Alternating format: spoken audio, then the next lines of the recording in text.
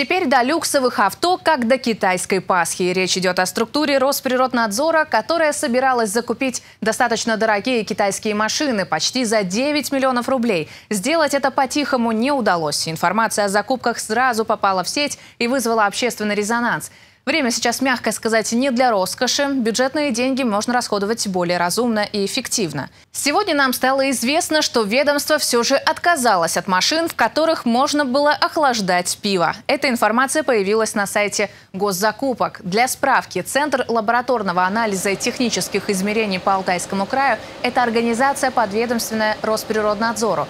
Центру понадобились два внедорожника класса люкс. Немного о характеристиках машин – Кожаный салон, подогрев, массаж и вентиляция сидений, охлаждающий бокс в подлокотнике и прочие детали повышенного комфорта. Общественники порекомендовали работникам ведомства пересесть на более скромные авто – буханки или УАЗ «Патриот».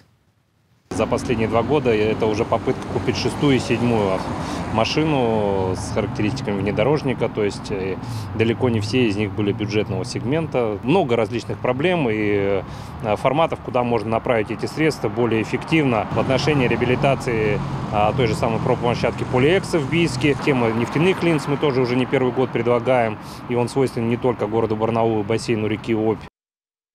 Также общественники отметили, что природонадзорники должны думать головой именно об этих экологических проблемах, а не тем местом, которое они собирались массировать в luxury автомобилях.